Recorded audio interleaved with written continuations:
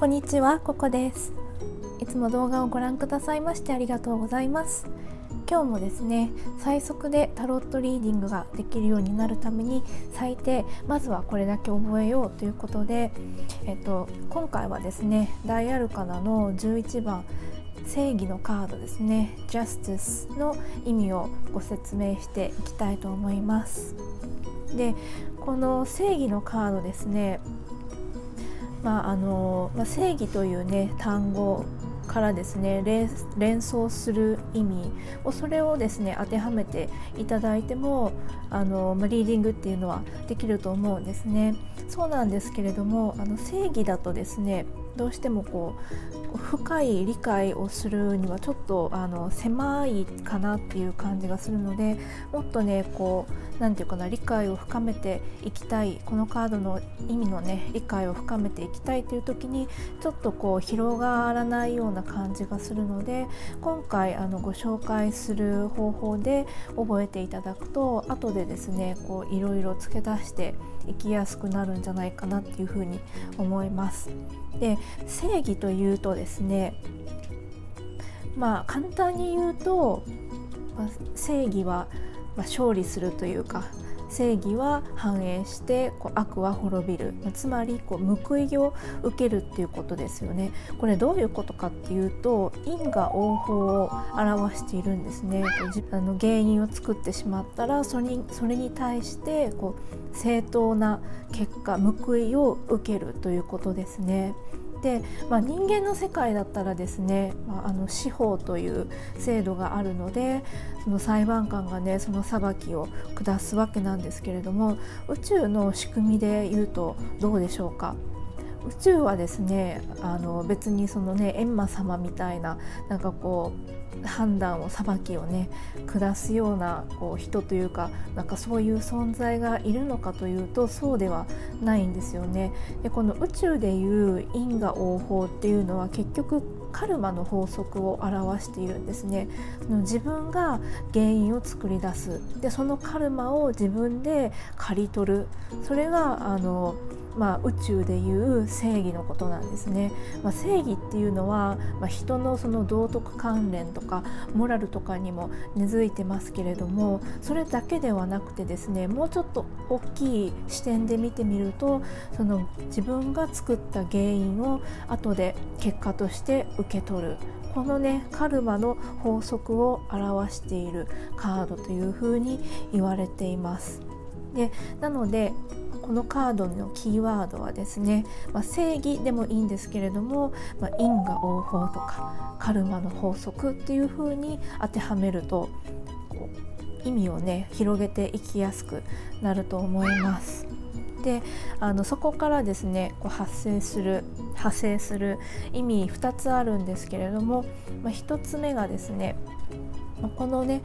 女性ですよね、まあ、裁判官みたいな女性ですね。この方は両手にあの道具を持っていますよね。でこの道具に関連してあの覚えていただくと分かりやすいと思うんですけれどもまずこの右手にですねソード剣を持っていますね。悪をね断ち切ったりとか、うん、こう裁きをね下したりとか、まあ、そういったことを表すんですけれどもまあ、ソードといえばあの小アルカナのねエレメントのうちのスートのうちの一つですよね。でソードといえばですねあのソードのスートといえば、まあ、理性を表したりとかマインドを表したりとか思考を表したりとかなんかねそういうこう理性的な感じですよね。で、まあ、この剣っていうのはそれを表しているんですね。こう裁きを下す時にこう感情ではなくって理性によって判断するということです。ですので1つ目の意味はですね理性的な判断というふうに覚えていただいたらいいと思います。まあ、理性だけではなくてですねルールに従って判断でもいいと思います。まあ、理性的っていうのはですねこう何かこう一定のこうルールというかこう決まり事があってでそれにのっとって結論を出すっていうことですよね。そこにこう感情とか、ね、情とか市場とか腹まを挟まずにこうもうこうこうだったらこうの結果になるっていうこのね仕組みにのっとって判断するということです。なので、えっとまあ、合理的という意味もありますしあとあのねこの裁判官ということであの法律関係とか契約関係とかですね表している場合もありますしあとはあの、ね、感情ではなくこう冷静に判断するっていう意味もありますしこう道徳道徳とかねモラルとか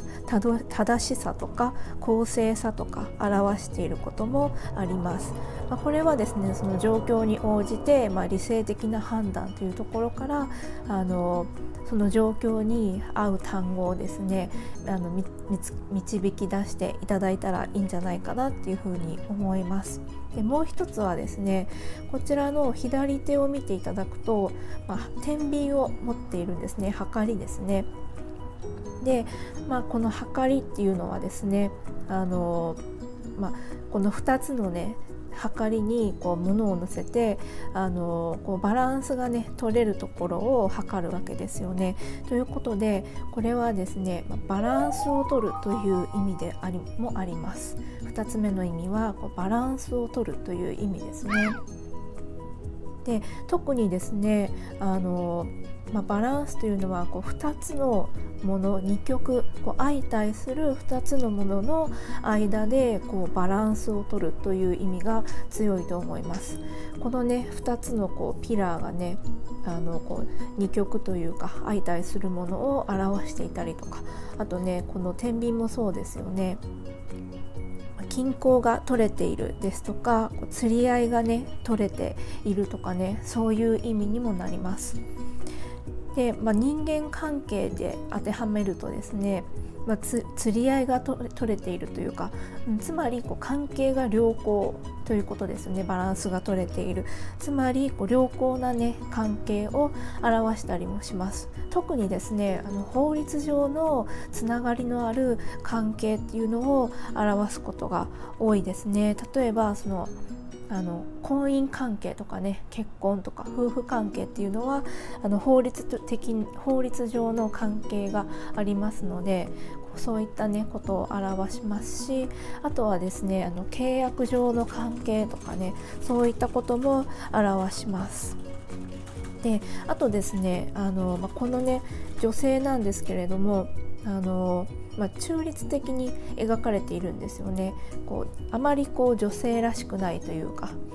あのね女帝のカードと比べていただくと全然あのなんか中性的な感じがするんですけれども、まあ、それはですね、まあ、感情にこうなんていうかな振り回されず、うん、あのなんていうかなこう冷静にこう折り合いが取れたというかこうバランスが取れた状態で男性性と女性性のバランスが取れた状態で判断を下すという意味があってですね、まあ、中性的に描かれているんですけれどもエネルギー的にはですねえっと2番のえっと助教皇ですね。助教皇と1番の魔術師のこのカードをですねこう合わせたようなエネルギーというふうに言われています。なのでですねあの結構二極性とかをね表すこともあるカードですね。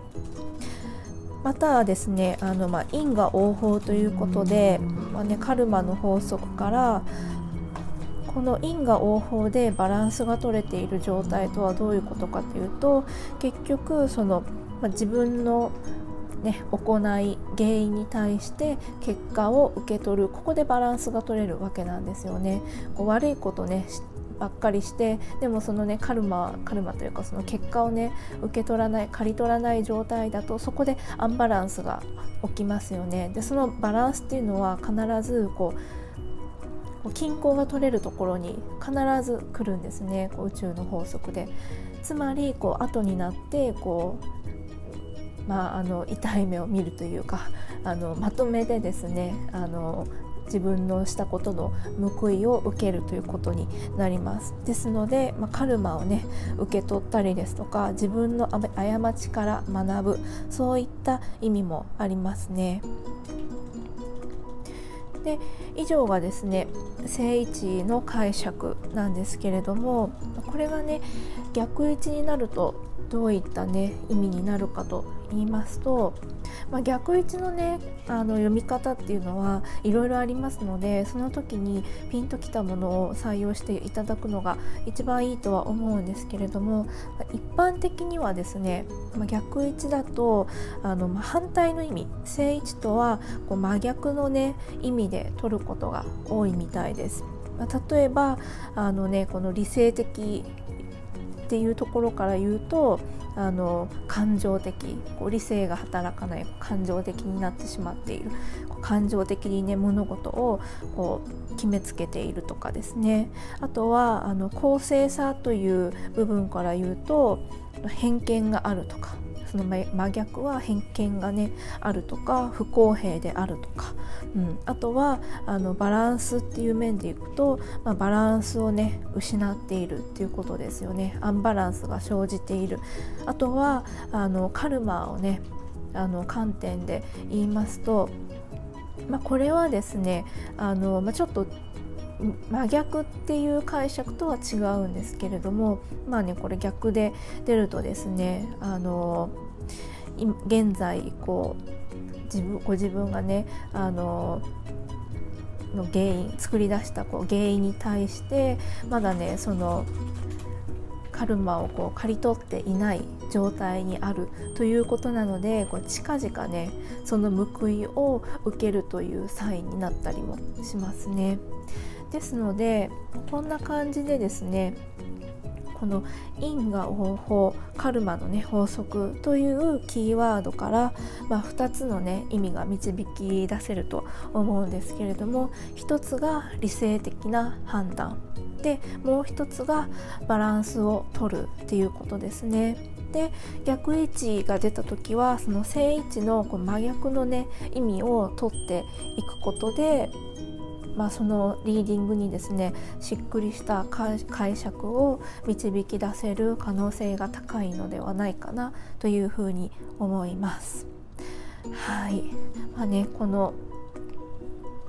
この正義のカードですよね、まあ、この天秤が表すように天秤座に該当するカードなんですよね、まあ、天秤座と言いますとこう風のね星座で、まあ、風といえばこうソードのスートですよね。なので、まあ、すごくこう何て言うかこうねつながっているというか、うん、そういった意味をこう内包しているカードだというふうに思います。でこれもねあの意味がね深いと思います。まあ、ダイアルカナね全部あの意味が深いんですけれどもなのでまずこれだけ覚えてでその後ですねあのリーディングを深めるための知識っていうのをこう積み重ねていかれたらいいんじゃないかなというふうに思います。はい。以上が正義のカードの意味になります。最後までご視聴いただきましてありがとうございました。では次のビデオでお会いいたしましょう。さようなら。